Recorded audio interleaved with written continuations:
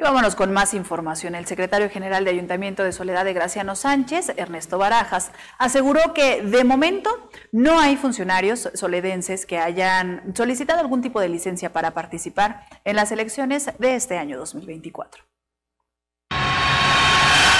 Pues hasta el momento eh, que a mí me haya dicho algún compañero que haya la intención de poder, ya sea presentar su renuncia, en el caso de los compañeros del gabinete o en el caso de los compañeros del cabildo su licencia, no ha habido todavía.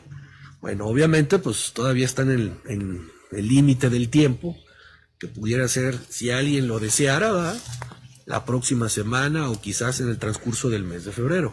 Lo que sí tengo claro y cierto es que quien pues ya no lo comente para principios del mes de marzo, pues estará en tiempos para lo que pretenda.